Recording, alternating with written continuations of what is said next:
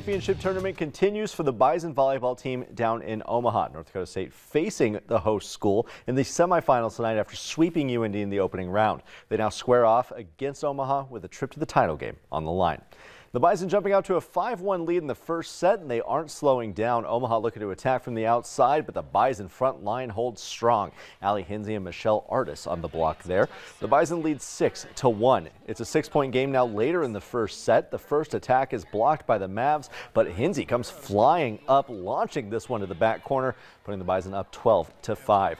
North Dakota State rolling in the opening set. Moving closer to the end of that opening frame now, Omaha with a deep shot into the back row. The sliding dig keeps this one alive, and from there, it's academic. Artis set up in the front row.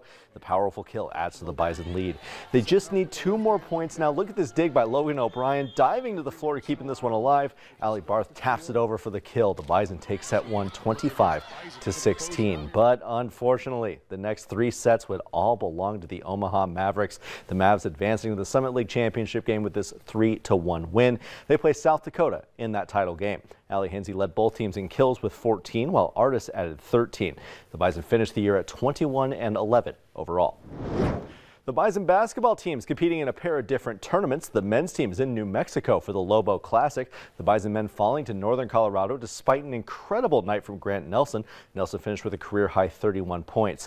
And the women's team began their stay in the Nugget Classic in Reno, Nevada. The Bison improving to 5-0 so far this season with this 68 53 win over Boise State. Heaven Hamling dropped a season high 23 points to lead both teams in scoring.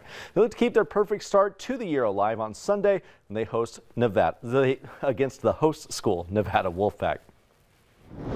North Dakota hockey team starting their home and home series with Bemidji State tonight. And before I can even get that sentence out, the Beavers open the scoring. Jacob Lewandowski knocks this one into the back of the net. The Beavers strike first. They're up 2 to nothing at the end of the first period with UND looking to respond in the second. Griffin Ness scoops up the loose puck and works his way into the net.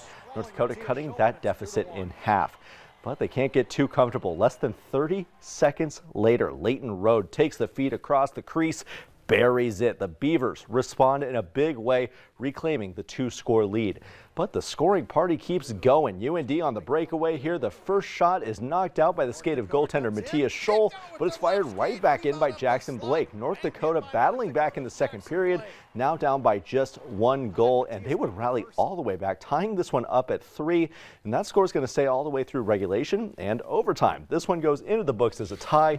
It's the third time UND has tied a game this season. This series will now head west on Highway 2. They'll meet in the Ralph Engelstad Arena tomorrow night not a loss at the end of the and day. It hasn't been the start of the season they expect or that many fans are hoping for, but right. it is not on the road. Exactly. And they get to go to the friendly confines of the Ralph tomorrow against, you know, a, a team close to them. There's going to be a lot of emotions in the Ralph oh, tomorrow. Absolutely. Thanks, Devin. After the break, Jim's back in with one more